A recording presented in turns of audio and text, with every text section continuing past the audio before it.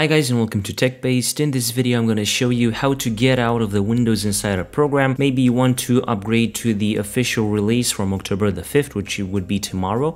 So after that you don't want to be receiving any other beta updates or beta builds from Windows 11 and the solution to that is to get out of the Windows Insider program. Now before doing anything I want to tell you that if you are in the dev channel you cannot get out of the Windows Insider program. You can only reinstall Windows in order to get out from it. If you are on the beta or the release preview channel, you can get out for now, but in the beta channel, make sure to get out as soon as possible because in the following weeks, if Microsoft decides to launch another version or another build, yet again, not be able to get out from it in the beta channel. So if you want to get out from it, get out from it today or tomorrow when the official release of Windows 11 launches. Just open up the settings app if you have it pinned on your taskbar, click on it or click on the search box and type into your settings. In the settings app, click on Windows Update and then go and click on Windows Insider. As you can see, I'm on the beta channel and all you have to do in order to get out of the Windows Insider program is to click on stop getting preview builds.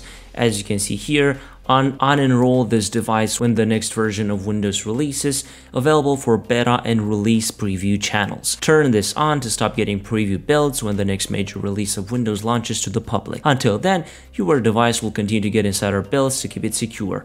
You will keep all your apps, drivers, and settings even after you stop getting preview builds. So basically, after the official version of Windows releases, you will no longer get any preview builds if you turn this setting on. So this is all you have to do in order to leave or get out from the Windows Insider program. Don't forget that tomorrow Windows 11 officially releases, so we cannot wait for it.